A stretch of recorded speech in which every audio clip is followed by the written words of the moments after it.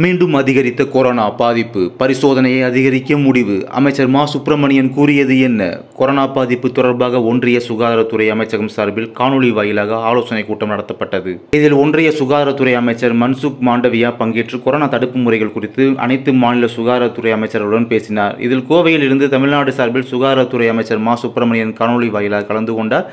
பின்னர் அவர் செய்தியாளரிடம் பேசிய அமைச்சர் மா. சுப்பிரமணியன் ஒன்றிய அமைச்சரிடம் தமிழ்நாட்டில் உள்ள கொரோனா பாதிப்பு குறித்து எடுத்துரைக்கப்பட்டது. தமிழ்நாட்டில் இருபத்தி நான்கு மணி நேரத்தில் கொரோனாவுக்கு இருநூத்தி எழுபத்தி மூணு பேர் பாதிக்கப்பட்டுள்ளனர். இந்நிலையில் வரும் பத்தாம் தேதி பதினொன்றாம் தேதிகளில் தமிழ்நாட்டில் அனைத்து அரசு மருத்துவமனைகளிலும் மாக் ட்ரையல் நடத்தப்பட உள்ளது. இதில் மருத்துவமனையில் உள்ள படுக்கை வசதி மருந்து கையிருப்பு ஆக்சிஜன் உள்ளிட்டவை கண்காணிக்கப்பட உள்ளன. மாவட்ட ஆட்சியர்கள் தங்கள் மருத்துவ கட்டமைப்புகளை உறுதி செய்வார்கள்.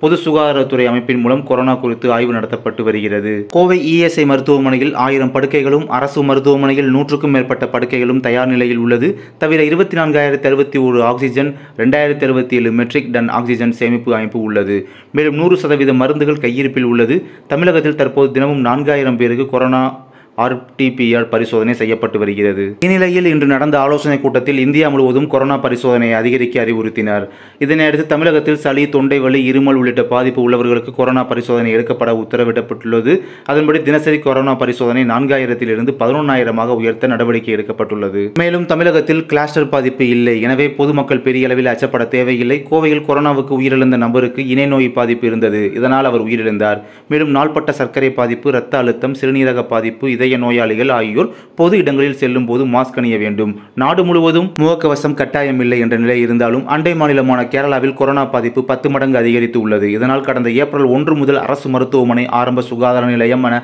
அனைத்து மருத்துவமனையில் மாஸ்க் கட்டாயம் என அறிவிக்கப்பட்டது.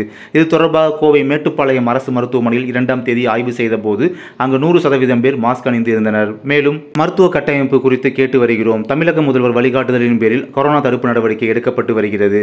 மேலும் கொரோனா பாதிப்பு ஏற்பட்ட நபர்கள் வீடுகளில் நோட்டீஸ் ஒட்டப்படும். அவர்கள் தேவையில்லாமல் வெளியில் செல்லக்கூடாது என்பதற்காக இந்த நடவடிக்கை எடுக்கப்பட்டு உள்ளது சர்வதேச விமான நிலையங்களில் இரண்டு சதவீதம் ரேண்டம் பரிசோதனை செய்து வருகிறோம். கொரோனா பாதித்தவர்கள் ஐந்து ஆறு நாள் தனிமைப்படுத்திக் கொள்ள வேண்டும். தமிழக கேரளா எல்லைப் பகுதியில் பாதுகாப்பு நடவடிக்கை எடுக்க கலெக்டரிடம் அறிவுறுத்தப்படும். சிறப்பு முகாம்கள் தொடர்ச்சியாக நடத்தி கொரோனா பரிசோதனை மேற்கொள்ளப்பட்டு வருகிறது. இந்தியாவில் தமிழகத்தில் தான் அதிக அளவில் சிறப்பு முகாம்கள் நடத்தப்பட்டு இன்ஃப்ளூயன்சா வைரஸ் காய்ச்சல் கட்டுப்படுத்தப்பட்டு உள்ளது என அமைச்சர் மா. சுப்பிரமணியன் தெரிவித்துள்ளார்.